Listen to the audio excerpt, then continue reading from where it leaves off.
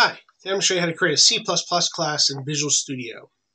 I have a standard Visual Studio console app created here with a basic main, and I have Solution Explorer open. I'm going to right click my, I'm going to click on my header files, I'm going to right click header files, I'm going to select add, and then class.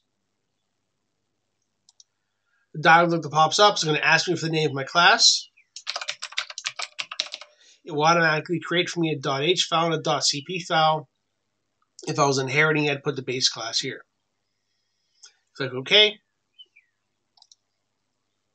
What's generated from here two files, a democlass.h, which includes the pound pragma, to make sure that this is only done one time. It defines the class for me without any public or private sections, and it creates me a democlass.cpp that has the democlass.h pound included. Clearly, you need to add um, your public, private, and protected sections.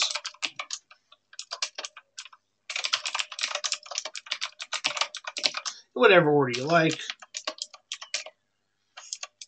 You also need to add any variables, constructors,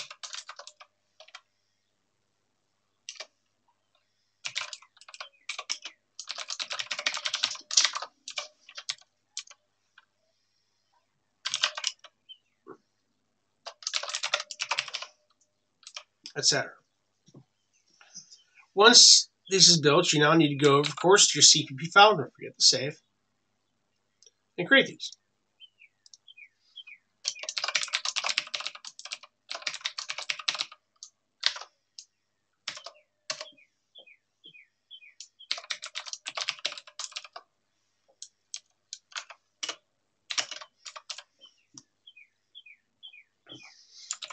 Once your class is created, you want to use it, You need a pound included over here.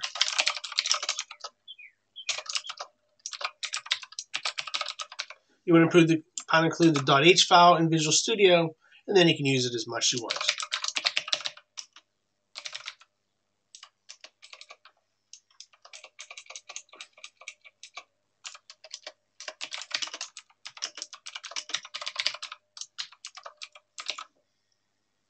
Do a quick run.